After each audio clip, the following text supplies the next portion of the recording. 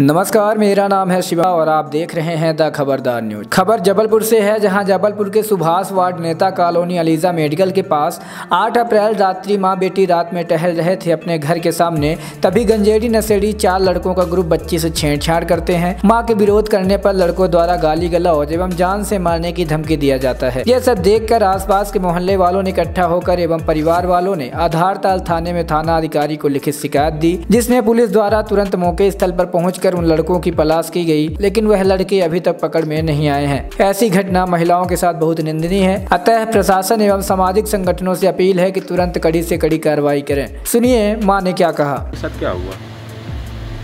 कल हम लोग यहाँ रात में खाने के बाद टहलने निकले। हाँ। उसके बाद साथ बच्ची भी थी।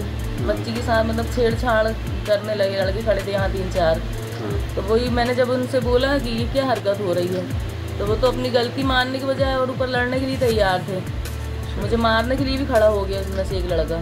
क्या नाम था उस लड़के का? उसका नाम शायद चिंटू था। अच्छा। हाँ चिंटू नाम। रिंकू रिंकू नाम उसका रिंकू ठाकुर। रिंकू ठाकुर हाँ ये भी मुझे बाद में नाम पता चला मुझे पहले पता नहीं था उसका नाम। अच्छा। तो मतलब ये यहाँ पे रोज़ का काम है और बस हम लोग ये चाहते हैं पहले हम लोग यहाँ रहते नहीं थे अब हम लोग यहाँ रह रहे हैं फैमिली वाले लोग हैं सभी।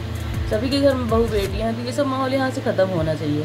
नहीं तो फिर आप लोगों ने कंप्लेन करी है? हाँ फिर हम लोगों ने कंप्लेंट की क्योंकि कंप्लेंट करना ज़रूरी था।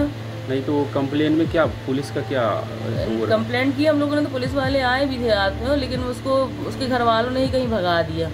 अच्छा। तो आप लोग चाहते हैं कि जल्द से जल्द वो पकड़ा जाए और हाँ पकड़ा जाए और मतलब वो एक नहीं है भैया। मैंने तो एक का नाम वो एक नहीं है।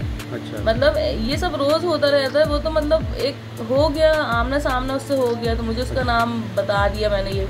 मतलब ये रोज का काम है यहाँ पे और सभी लड़के ऐसा करते हैं यहाँ के। यहाँ। बैठ के गांजा पियेंगे शराब पियेंगे और अगर अपन बोलेंगे दरवाजे के सामने खड़े होकर गाली बकेंगे अगर अपन बोलेंगे कि यहाँ क्यों खड़े हो यहाँ क्यों फालतू बात करो तो अपन से लड़ने के लिए तैयार रहते हैं यहाँ तक कि जान से मारने की धमकी देते हैं।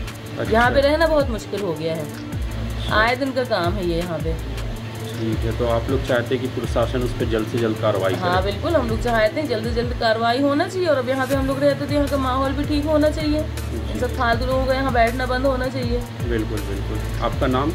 मेरा नाम इरफान है।